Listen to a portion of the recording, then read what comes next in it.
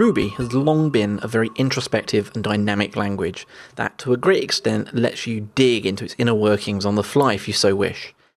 In my Ruby Reloaded course, one of the things that tended to surprise people was to learn about something called set trace which, as the name implies, can be used to trace the execution of a Ruby program by way of a function.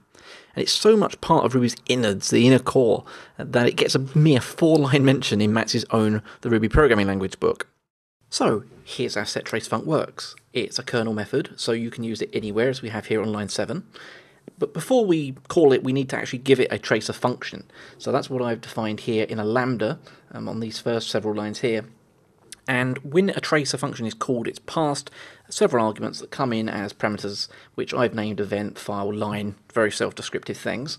I then choose certain parts of those to display, and then use a nice formatting string so that it will print everything out in a very nice way. So we turn the tracer on, very simple, and if I run this code, nothing will happen. Um, very boring.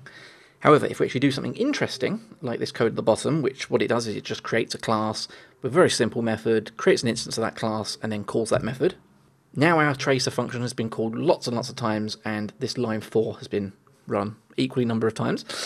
Well, some of this stuff is really boring, but the interesting parts are the parts that let you see behind the scenes of what MRI is actually doing. So, for example, when we create our class here on line 9, behind the scenes, the inherited hook method within Ruby is called. More interesting though is down on line 15 where we actually create and initialize our object and then we call the my method down here. Um, so we get to see the call, the actual line of code that's run, which is just 42, and the return down here.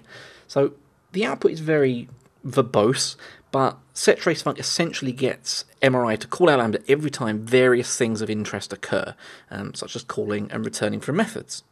Now we get to the good stuff. TracePoint is a more object oriented Ruby 2.0 equivalent of set trace func and essentially makes it defunct. Defunct? Get it? Okay, I won't give up my day job. Uh, without dwelling on my bad sense of humour too much, here's the TracePoint equivalent of our set trace func experiment from before. It doesn't look significantly different, does it? Note, however, that we explicitly enable the tracer here, uh, which also means that we can disable it too. Very, very simple. Um, so we could enable it around one piece of code only. Uh, you could do this with set trace by passing it with no arguments to turn it off, but the API wasn't as nice. And it's also possible to call it in an imperative way, like with set trace func using tracepoint.trace, like so, um, rather than tracepoint.new, and that will run the uh, tracer immediately and straight away just one of the other things to notice about this is that instead of getting tons of different parameters, we have a single one, which is this TP, which is a tracepoint object um, that has various methods on it, which we use here um, to get very similar results to what we did with settracefunc. So tracepoint has a better API, but how else is it better than settracefunc? Oh, let me count the ways you can give tracepoint's enable method a block, as we can see here on lines 15 17, so that the tracer is only run on a certain piece of code and you don't have to explicitly disable it. You may recognize this pattern from file reading, for example. If I run this code, you can now see a lot simpler trace than before. It's also possible to check whether a tracer is disabled or enabled. Very simple methods to do that, enabled, disabled. We can also get a tracer to only respond to certain types of events. So in this example, we tell TracePoint we only want to see return events. So that is extremely simple and will only show us when we come back from the my method, shows us nothing else. And because TracePoint is object oriented and no longer a single global trace function, another thing you can do is have multiple tracers, as shown here. So I've created a traces array and I just pass in different traces to it, one for return, one for call. I could do lots of other ones if I wanted to, but all I do is I just print out various things for those traces. And one thing I do down here is I call the my method three times.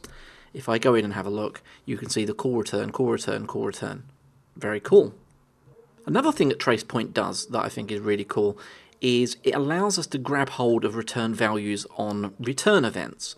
So in this example where we had the event coming back from the method, what if we want to access and find out what that return value is? We can. It tells us it's 42. This gives us a really interesting um, amount of introspection into what the program is doing. Another thing that we can do, And it was possible to do this with set trace func in a slightly ugly way. This is just a nicer API. We can grab hold of the object that's relevant to the trace in a more direct fashion. So let's see what that means. It means we actually grab back the instance that we're talking about. So that's the instance of my class that we're referring to and calling the my method a pom. So why would this be useful? Well, for most developers it won't be, but if you like living on the edge, this could be an interesting way to see if a method returns consistent answers, uh, for example. So here's a really horrible example for you. This line of code is the real key one here.